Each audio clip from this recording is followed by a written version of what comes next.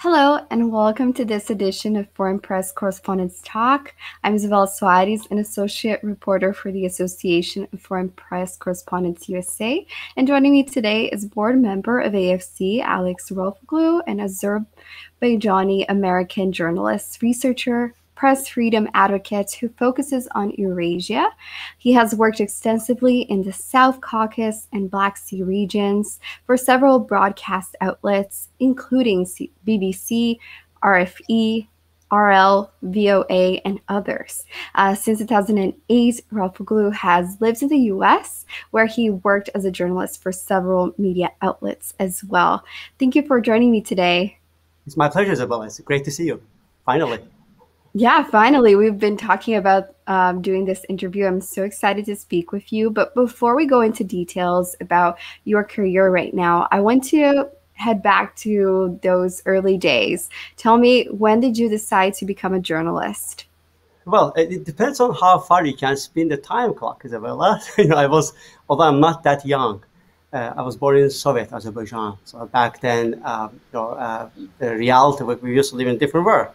Uh, and I remember getting first uh, uh, offer to work for a local paper. It goes back to my seventh grade. And I was born to a family, you know, where you know, journalism was not a family business, albeit my dad was, uh, you know, a dissident voice uh, in the Soviet Union, and uh, which was not enticing for my mom. so that's why she didn't want me to become a journalist. She wanted me to become rather a doctor or something much more safer, uh, within given the circumstances. Um, I did accept that offer, and uh, and but unfortunately, you know, during the Soviet times, you know, the Soviet Union got collapsed, you know, reality changed in the region, and uh, you know, I went back and forth through my, uh, you know, decision uh, whether or not I want to become a journalist was still questionable for me. Um, and my late dad, uh, who just passed away recently, um, I remember I had a very candid conversation with him one day and he told me, look, uh, if you speak up and become a journalist, so you're gonna have a tough life. So if you don't speak up, uh, you're gonna have a tough life. So speak up. So I decided to follow that uh, suggestion from my dad, and um, so I just went through my career. Uh, as soon as I, you know, started understanding, uh, you know, the, you know, gravities of the region, uh, there's one vocabulary that I heard over and over, which was censorship. Although the Soviet Union got collapsed, uh, I experienced firsthand what that meant actually to work under censor, you know, censorship until 1998, which was uh, you know the case in Azerbaijan. Um, I decided to think outside of the box. So I went to Turkey at that time uh, to study a little bit, you know, about Western journalism standards, and uh, I started working for Turkish and international media, you know, back in Turkey. And then I returned back to Azerbaijan, and uh, so it was different reality in the country. Uh, we had you know, international media outlets you know, operating in the country. I'm talking about about late 1990s, early 2000s. Um, I was not necessarily thinking about actually becoming a foreign reporter because my career was I was like all traditional, you know, uh, reporter, uh, relying on you know, uh, you know uh, boundaries that you know press media was able to offer at that time. Um, uh, I went to different countries, you know, early 2000s uh, when the things changed, like in Georgia, in Ukraine, uh, in Kyrgyzstan, before my eyes. You know, I was really shocked, uh, you know, being part of the process when the countries were going through historic, you know, uh, changes. Like Georgia had a regime change, Ukraine, and when Maidan Revolution happened, I was standing right at the center of the uh, square and thinking about know, the country, what just happened. You know, uh, it was very interesting uh, to understand. Um, you know that uh, you know the wave of this new wave of democracy had so much to offer to a wider region. And I uh, returned back to Azerbaijan and started thinking about you know um, maybe like living and working in different countries. But the problem with Azerbaijani media back in early 2000s was that uh, you know, the situation was deteriorating at that time. Media didn't have a chance to you know, uh, let's operate outside of Baku, capital city, let alone, you know, having some bureau, you know, in Washington, D.C. or some other capitals. Uh, at that time, in 2008, I got an offer to work for Voice of America, which is the U.S. Uh, government-backed uh, agency. And I decided to, you know, accept the offer, and I moved to the D.C. area and started working for VOA. But um, it was a moment when Azerbaijan again was going through difficult times in terms of you know the state of press freedom in the country. Um, as soon as I moved here, uh, you know, international broadcasting services uh, lost the ability to be in local, you know, broadcasting waves. So uh, that's why I want to speak up and be you know, voice to my colleagues, the people I left back at home. Something I couldn't, you know, have done uh, within, you know, the VOA is the framework of, you know, this uh, government agency. So I decided to uh, leave VOA and um, be, become a press freedom advocate and a journalist representing independent voices uh, from Azerbaijan. This is a long story short, but uh, there's so many details, obviously, uh, that I am happy to share with you. Yeah, for sure. I think it's incredible that you gave us kind of like an overview of your career so far. And uh, like you said, uh, you you had experience covering various different countries in the early 2000s before moving to the US, um, including your home country. So I wanted to ask you, what is the main difference between you know doing coverage in your like main country? You you live, were born in Baku. Um, could you tell us like how is that different from like covering events in the US? Oh, what an amazing question! Thank you so much for asking that. Because uh, you know I've thought about it over and over uh, in the past.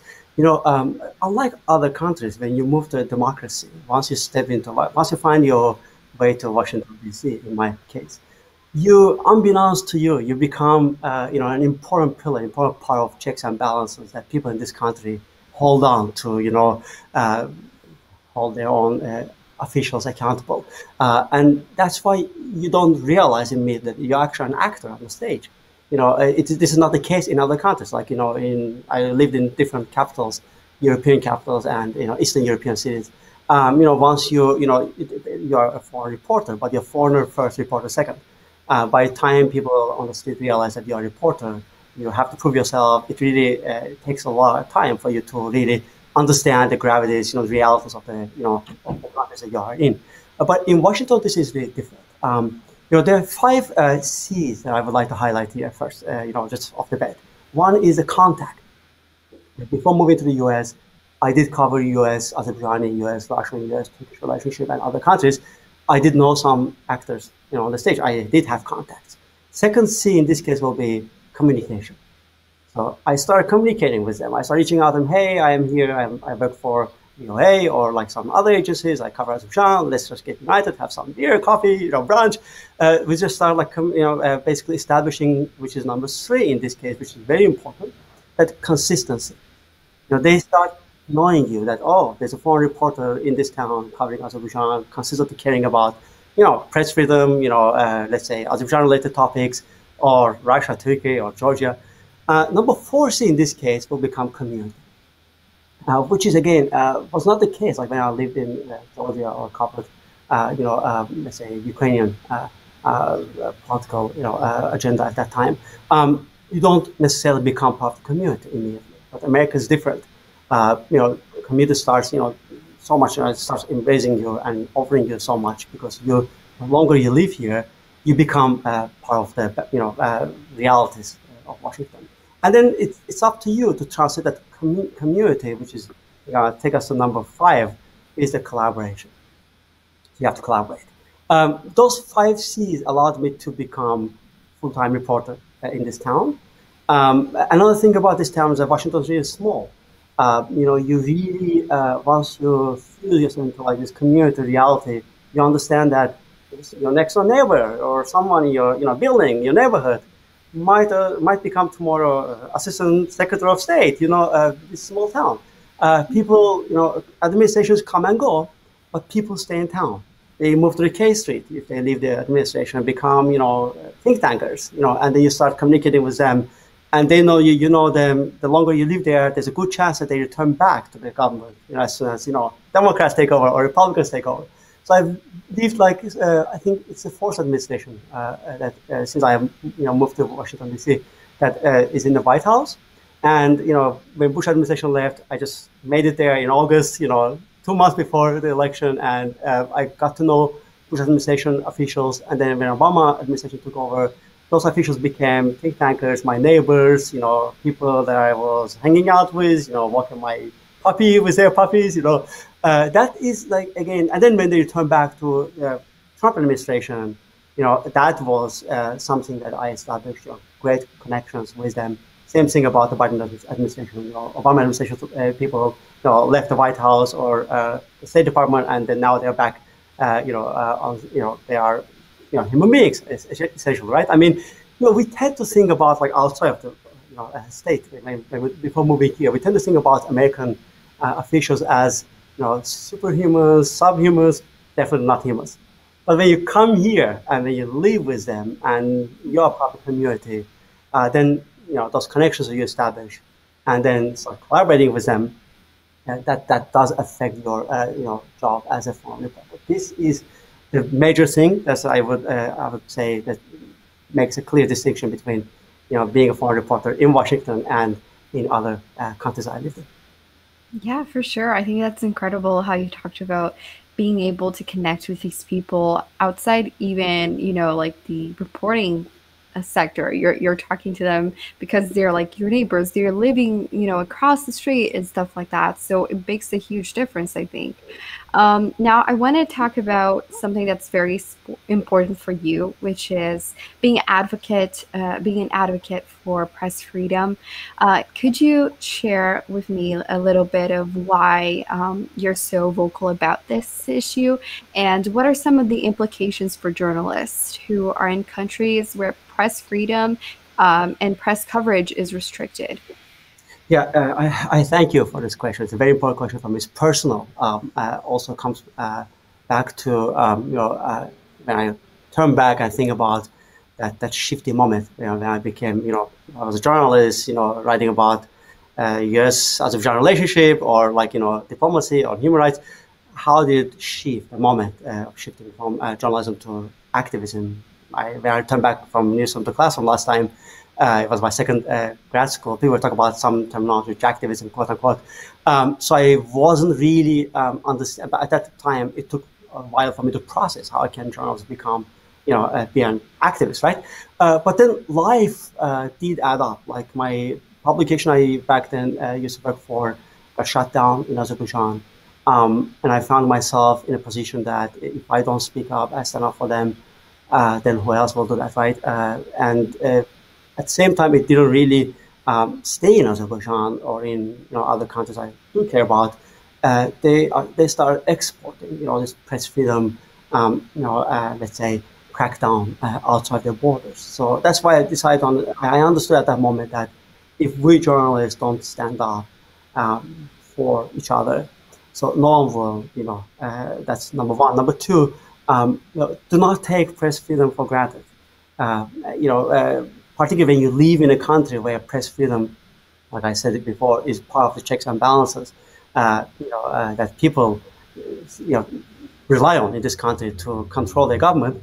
Um, and when you think about uh, you know how uh, you know democratatorships, you know dictatorships and democrat- democracies, some unification of those both notions start to take advantage of you know a crackdown that is going on in other part of the world and try to apply it in their own countries, and you feel that you know it is your mission as a journalist.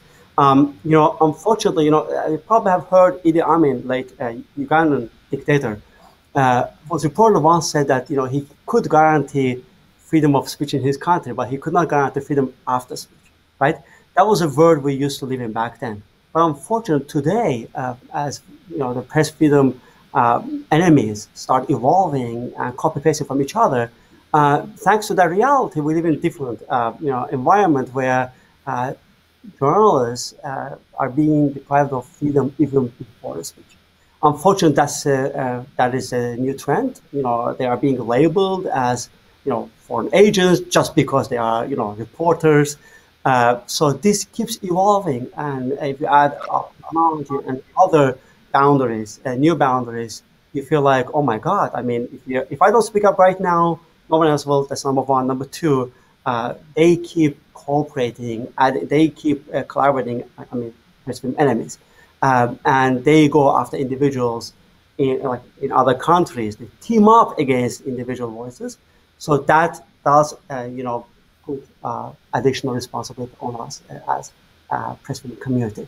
You know, our community, let's acknowledge that our community suffers uh, you know, from, uh, from unity, not having unity, because we don't have it, unfortunately, because that's uh, by definition, journalists, you know, tend to, you know, go through different ways. You know, they, I did mention five C's, like you have to establish those C's together. By the time you reach out to that level that you become personality, like journalistic name in, the, in one country, you feel like, you know, uh, press freedom is, you know, not your concern. You know, something's happening in Azerbaijan, in Russia, in Turkey. It's about, you know, uh, Azerbaijan, Russia, and Turkey, right? But uh, it does bounce back. Uh, that's why we need to start talking about unity. We need to team up again. Maybe uh, uh, this club is another umbrella that I'm, I'm, happy to highlight, um, which is which takes me back to number 60, the club. Come join us and be part of the community and be you know, part of, be able to speak up for voiceless. Otherwise, your journalism uh, it's going to bounce back and it's going to uh, be, uh, you know, a major problem for even democracies. Mm-hmm. Definitely. And I think it's very important for us to highlight that because it is a privilege, you know, and we have to, um, you know, acknowledge that and make sure that everyone is helping one another in a situation like this because it is important for any person who's working with the press to um, have the freedom of sharing what is happening. And uh, lastly, before you go and we finish this interview, I just wanted to ask you if, for foreign correspondents who are probably looking to move to the US or people who want to become foreign correspondents someday, what would be your word of advice for them? And maybe how does AFC help people who are trying to go into this path? Wonderful question, and thank you for that. Um, the way I and I, I, I, know that some of our board members also will uh, perhaps join me with that observation. Uh, the way we envision our role as foreign correspondents in this town is like two-way road, right? Uh, we do contribute into American you know, democracy, you know, uh, particularly uh, being in Washington, uh, being a foreign correspondent, in a room, um, as I like I mentioned, like we become part of check and balance. Politicians, when they would be happy to sell our different stories to different audiences, uh, when they see us in the room, um, they start thinking, you know, uh, twice because uh, by being in a room, we try to uh, we play that uh, that let's say how to put that like second thinking role for, for the politicians. They feel like you know they can't you know they can't let's say get away with fake news or alternative facts, whatever that we have heard from the stage previously. Um, Number two is you do represent your own community. In my case, I do write for Azerbaijani audience or Russian, Georgian, or Turkish audiences, right? And um, by being here, like as I said, in a room, I also offer different perspectives. You know, uh, you become a contact uh, for people in this town. They reach out to you. They try to, you know, uh, you know, uh, reach out to your audience through you, and uh, it's like two ways road. You do contribute a lot. Also, they do uh, give back to you to basically become a messenger between the world that you live in and the community you represent. You know, we uh, we are, uh, to mildly, you know, uh, we have it's like to play. It's like revolving door. Like you know, uh, you get in and try to you know uh, basically um, convince the politicians here that you know, uh, you know, uh, what matters to community doesn't matter because you know it is something important. You know, for you. But same time, politicians, you know, they don't wake up every morning to, you know, thinking about, uh, you know, making Azerbaijan, Russia, Turkey, you know, major subject because small town with bigger agenda, right? That's why it's up to you, but you have to play, you have to be able to play both roles. Number two, you know, the club, you know, um, at some point, I remember a couple years ago, I was sitting uh, in the East Room at the White House covering uh, U.S. Uh, Turkish president's press event. And, and, and, unbeknownst to me, the next person sitting right next to me, uh, uh, uh his name is Rahim Rashidi, uh, later on became another board member in the club.